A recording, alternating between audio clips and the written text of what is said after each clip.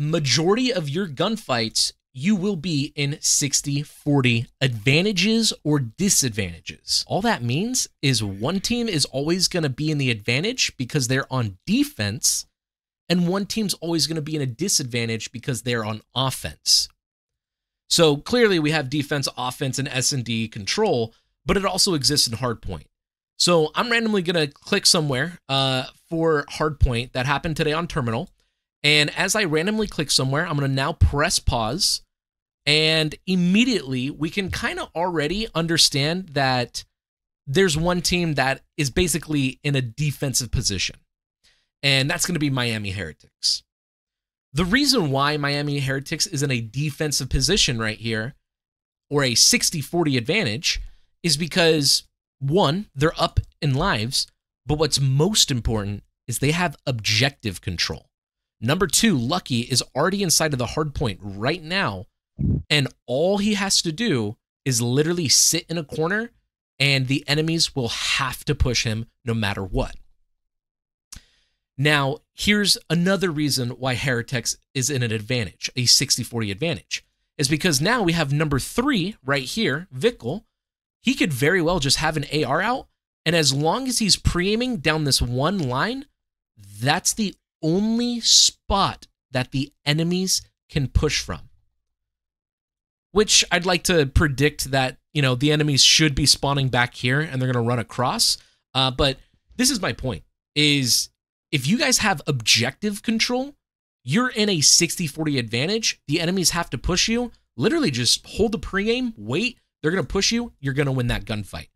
And um, ideally, number six is going to push in. And of course, he does kill him, but we do get the trade. And now, once again, Vikul is in the hard point. Number four, he's holding that pre-aim to get all that damage down. And we're still in the defensive position. We're in a 60 40 advantage. The team, uh, Heretics, they could literally sit in this corner. They could, you know, lay down and play aggressive and hold an angle. They could sit in this corner. They could sit in this corner. They could lay down and hold the pre aim here. Uh, the player over here, he could sit in this corner on this head glitch over here on this head. The point that I'm trying to get across is there's several spots that you can sit, and the enemies, they can only basically push out of here push out of here, and then push out of here. Which, again, when you're on defense, you literally just got to look at one spot and you clear out all those spots. So when you guys are playing in ranked play, eights, whatever it may be, when you have the objective, the enemies have to push you. So you could just play the easy gunfight by holding a pre-aim and win it. Offense team, right? What about if you're on the 40, you know, 60 disadvantage?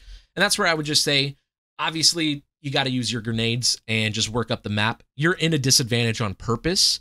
You just got to work as a team now. So a good way to like work as a team is you could basically have one guy right here baiting the entire time, getting information, not trying to die.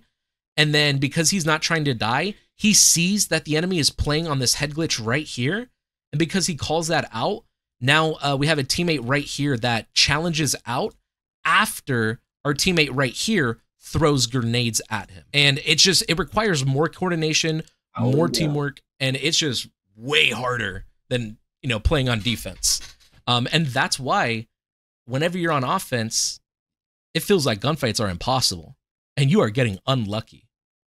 It's because you are like, you are unlucky. You're starting out with bad luck. We talked about 60 40s. There's also 50 50 gunfights which these are pretty normal. You're going to run into these in like public match gunfights. Uh, whenever you're rotating, um, you're going to run into 50 50 gunfights. So if we're rotating to new hardpoint, like normally you might run into a 50 50 um, just because of timings, but you will definitely run into 50 50 gunfights on like S&D. Mm-mm-mm. Yeah, so this is this is like a 50 50 right here. So this is what I meant by rotating is this guy shot right here and number seven shot right here. Number seven rotated down and then number three rotated down. And you guys already saw how like number three is looking in the opposite direction and like this guy is like aiming on him.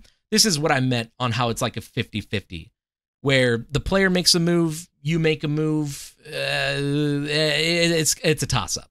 Um, we could say that you know Vikul has high ground and he could you know jump off and challenge him, but mostly this is the point I'm trying to get across is it's a 50-50 for a reason. Just like right here, this is a 50-50. Um, just because number one, he really doesn't know when that player is going to challenge top Eskies.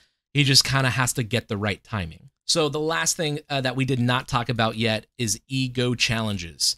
Now, ego challenges, these are challenges that you are taking that you have no business winning. Where when you're on offense and you're challenging a 40 60 gunfight, that's an ego challenge right there. Because we already talked about how it requires teamwork to break a setup. So if you're just flying in, that that's an ego challenge. Um, now there are good ego challenges. Perfect. So right there, number five gets a kill. This is important. So number five gets a kill, and immediately he's already flying, trying to look for a two piece. And this is why I said ego challenges are sometimes good because once again, look, number five, ego challenging again. Um, and ego challenging is good when you have a teammate near you because you guys can just like bounce off of each other and try to like kill an enemy. But you should almost never ego challenge by yourself or ego challenge when um, it's just unnecessary. But like when it is necessary, it is good. Um, but this was the types of gunfights. I'd like to move on from that now. So the reality is, is you guys are playing online, and I gotta tell you guys, ping is king. Your ping will more than likely affect the way you play your matches. So if you guys are playing on like a 70, 60 ping versus like a 20 ping, you're going to want to make sure you take like zero ego challenges and you're going to want to play it like safe, right? And you're going to want to try to rotate early, play defense, get into a position, play a credit corner, hold a pre aim, play for that kill. Because you on a 70 ping versus an enemy who's on a 20 ping or lower, you're you're pretty much always going to lose that gunfight. The enemy team because they have high ping, they have a higher chance of like, you know, winning crazy gunfights. Uh, which is a reason why, like, sometimes you guys may get three bulleted, even though it felt like you shot the enemy with 20 bullets. It's just, it's usually ping. um, and another thing about that ping is peeker's advantage. Where if there's a player on 20 ping and you're on 70 ping and you're holding a pre-aim, if this guy runs around the corner, he is basically going to see you first because he has a better ping and he's challenging around the angle. He's going to see you first and he's going to kill you in like three bullets. Or it's going to feel like he killed you in three bullets, even though you shot him with eight. And this is what I meant again on how when you hop into a game, you got to look at your ping and realize what kind of advantage or disadvantage are you going to be in? How should you play? Um, and in the future, it'd be more like you would sit up here and you know you're on a 70 ping. So when a guy flies out, you probably don't challenge him. Like you just see him and then you get behind cover just so you can give the call out. So this teammate can like look at him and wait for him to push up and then you can just do something else, right? Like look P1 or maybe you could look uh, his cross all the way out over here. And then ideally this enemy pushes out and then uh, your teammate kills him. Now, I would say if you guys have like a 20 ping, so if you guys have a 20 ping and this guy has a 70 ping, oh yeah, absolutely. You could challenge that. I would always challenge that. I mean, if you guys are on 20 pings and 10 pings, that's like the only time like ego challenges might be good as well. uh, just because ping is king uh, and it's very important and it tells you more than likely how your gunfights are going to go in a game and how you should be like playing. The next thing I want to talk about we know the types of gunfights. We know when to prepare for a gunfight, and we know that when we're attacking, we have to be coordinated. Now let's talk about decision making and like what is the right play to be made in a current situation. Um, and this is where I would say you guys should always rewatch your gameplay because there's really only four things you guys can do and four things that the enemies can do. So as we randomly click somewhere, on, uh, let's just randomly click on this sub base hardpoint. Perfect. So right now, number five just died, and number two is sitting over here, top server, playing for P1. So I'm going to assume that this player, top P2, there's four things he can do, right? Um, so you would look at the kill feed, you would realize, holy crap, Lucky is sitting top server. Because Lucky is top server, there's four things he can do. He can go right, he can go left, he could just stay still and literally just stay up here, or he can just, you know, push forward. Um, very rarely anyone would go back. More than likely, he's just going to sit still because these guys are about to win. So, with that information, this player over here, let's say you guys in real life were number six, right? You guys would realize, okay, I'm number six. Number two is just going to be playing that high ground. I'm going to try to play the high ground and play for that gunfight. And like when you look at your mini map, that is a decision you can make. We have number four versus number seven and it's the exact same thing. These guys both know where each other are. They can either sit still, they can go right, they can go left, they could push up middle, or obviously sit still. And same thing for the enemy. He can go on the left side of this tank, he could go on the middle and like jump up, or he could try to push up the right. So, right now, if you guys were playing a match and you guys are Journey, or if you guys are Awakening, and you look and you see this player, just know that he, there's only really four things he can do.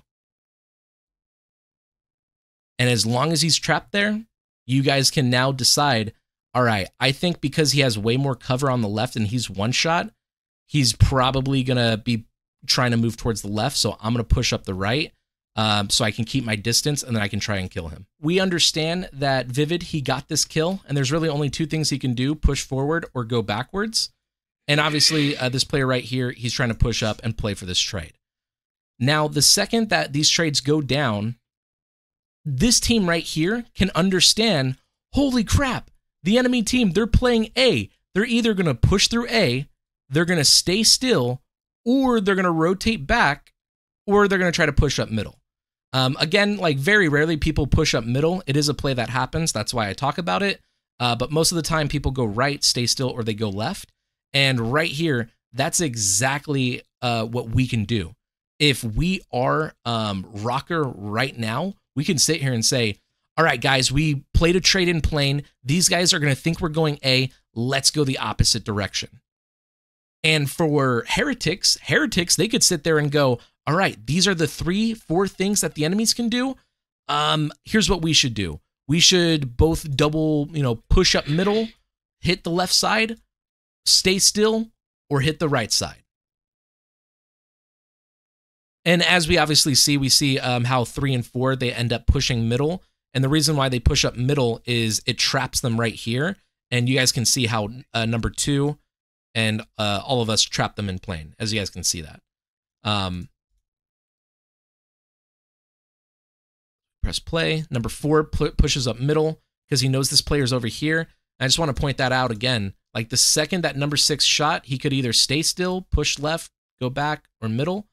And then number four said, All right, bet. I can either push him or I can try to go for this middle play. And he went for the middle play and it worked. And like this is literally all I'm trying to say is like once you know where an enemy is, there's four things they can do, four things you can do. If you didn't see them go left, if you didn't see them go middle, they probably went right. If they didn't go right, middle, or left, they're probably just staying still then. These enemies, once again, they can either sit still, they can push out left, they can push out right, or they can like try to go middle. And he's cutting this off. So right now, heretics, they know that the enemies can only do two things go middle or go out the back plane.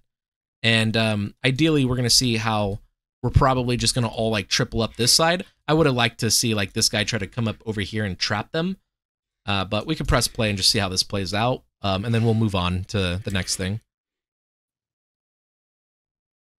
Okay, they're just all trying to trying to triple up the side. And once again, uh, ROKKR, they are on defense. Um, they're in the 60-40 advantage because the enemies have to push them. But as you can see, uh, Heretics, they have excellent teamwork. They took their time, cleared everything out, won the trades, won the round. Um, they're also up in a 3v2 advantage, so the trades should go in their favor. All right, finally, the last thing we're going to talk about is your mechanics, you know, how to practice, you know, how to activate aim assist, center, etc. All the stuff you already see on YouTube videos. We're going to talk about that right now. Obviously, we're going to, you know, share it through my perspective with what I think is most important to help you guys win. So, the first important thing is always go to game setup, go ahead, switch it over to free for all go to the default game rules and switch the time limit to about 45 minutes, switch that score limit to a 1,000, go ahead and skip the infill, switch over to player, and if you want to, you can bump up the max health to make you um, obviously have to hit more shots. You could just keep it at 150, and then always make sure you have radar always on, especially on constant or at least fast sweep. Now, once you have that set, I would highly recommend play on the map that you guys aren't comfortable with. Yes, if you guys feel like you suck at invasion, play invasion. If you suck at high rise, Karachi, uh, l- literally any map like Skid Row, if you feel like you lose gunfights, load up on that map so you can practice those gunfights. Very, very important. Um, so I, I would say a map that a lot of people kind of struggle with, I think, is usually like probably uh Karachi. Uh, so we're going to go ahead and load up the free for all. Um, one last thing, of course, you would want to put on bots, which you go over here to this plus sign under your name. You put the bots to about, you know, seven, maybe 10, and then you can switch the difficulty to veteran. I prefer, you know, bots who shoot because my theory is if you can crap on veteran bots, you can eventually crap on, you know, a majority of players, I feel. Um, so now once we have that, you just click start the match. Once you're in game, we're going to talk about the mechanics that I think are the most important to winning gunfights. Now, the first and most important thing is when you see an enemy or you get shot at, most of the time, you're going to want to make sure you're behind cover. Because if you're behind cover, you break that line of sight, and now you offer yourself to challenge left, challenge right. Maybe you could try to wallbang him, or you can just stay still and make him push you, right? Um, now, when you get behind cover, this is where you need to make sure you start strafing and hitting the enemy as you strafe out of cover. So if I see this enemy, I get behind cover, I'm aiming at him, and then as I strafe, I shoot, and ideally you're always going to get first shot. So this is already the most important thing. Just get behind cover when you see an enemy or you get shot, just so now you have that opportunity to go left, go right, um, you know, center through the wall and then strafe out and then shoot him. Just try to give yourself an advantage, right? Now, when it comes to the actual mechanics, every single gunfight you guys are in, you need to be moving this left stick 1000% of the time. If you are in a game, a 10 minute game, beginning to end, you need to be moving this left stick the entire time.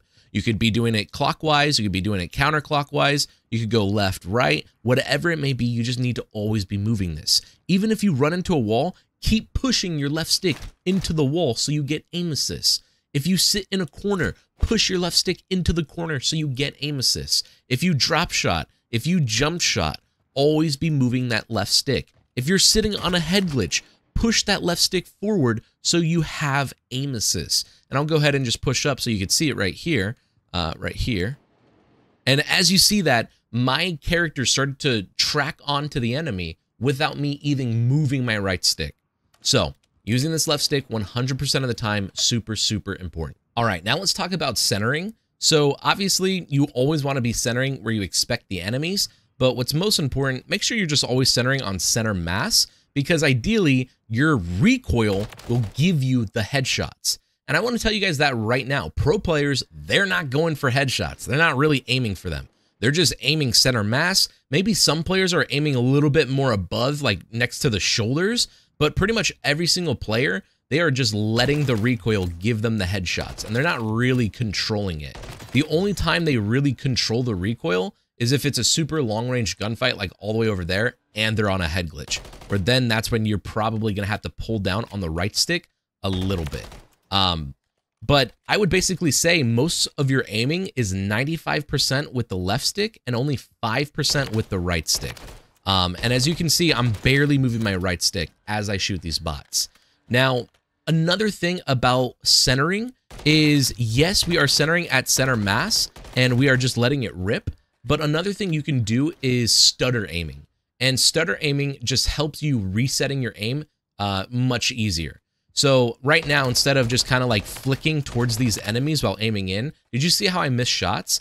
Right now, instead of flicking, flicking, and flicking, what you could do is you could kill, out aim, aim back in, out aim, aim back in. And just out aiming, aiming back in, what happens is you take that little blue dot and instead of putting this little blue dot onto the targets, now you just out aim and you just have to make sure your crosshairs on the target. Make sure your crosshairs on the target. Make sure your crosshairs on the target. And usually you activate aim assist. Um, and I would go as far as to say, even if you miss shots, you should always try to out aim and aim back in. And ideally, your game is going to try to lock on to the nearest enemy that you see. Um, and of course, make sure you're always strafing the entire time to have that aim assist.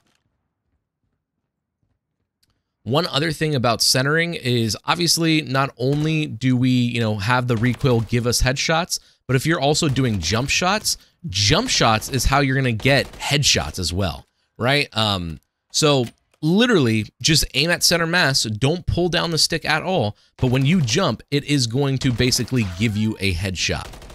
Um, so jumping, really good to get headshots. I would highly recommend probably the best mechanic you guys can learn is jump shotting. Jump shotting mid gunfight, strafe jumping out of cover to kill an enemy. Um, even slide canceling is good to slide cancel out of cover, but for the most part, just jumping is probably the greatest thing you can do for your gunfights. Now, the last few things I want to talk about centering is, of course, whenever you see an enemy and you get behind cover, ideally you want to remember where that last enemy was, so you can just, you know, aim through the wall. When you strafe out, you can shoot them. Um, I call this centering like a hacker, and really all it is is you remember the last spot where the enemy was, right? So if that enemy, if I see the enemy and I'm like, oh crap, he's right there, and I get behind cover, and I'm going to aim there, challenge out, and ideally, you know, get first shot. So a big reason why you're always playing behind cover is obviously you do break that line of sight so you can go left, right, stay still, or maybe, you know, try to like do a different play. Uh, but most of the time, I will definitely say that when you get behind cover, just make sure you're limiting your hitbox where the enemies can't really see you. I see so many gunfights where people are like on a head glitch, yet they push up too far and now you see half of their body and they die. And they're like, what the heck? I had the head glitch. Why did I die? And it's like, not really. No. So they're like pushed up against the wall like this. And it's like, if you really want to use the head glitch, you should get away from the head glitch and like you can probably crouch and now you have this head glitch right here, right? Um, or just simply being further away and then like using a wall like right here. So using this cover and using this cover, like literally just using these two pieces of cover and like just having this one guy all the way over there, he could only see a slither of our body, yet we could see his whole entire half body that's just another like thing you should really be mindful of is make sure your hitbox is small so the enemies can't kill you, right? The last few things I want to leave you guys with is understanding that gunfights only make up 10% of what a good Call of Duty player is. There's several matches, there's several players who have won matches by dropping only, you know, seven kills, zero kills, four kills. And it just goes to prove that kills really don't matter that much, and it really only matters about 10% of the game. Um, either way, when you learn this game more and more, when you learn the spawns, when you learn where people are going to go, when you learn the patterns of routes and how people like to play, eventually you're going to know if you are going to win or lose a gunfight 90% of the time.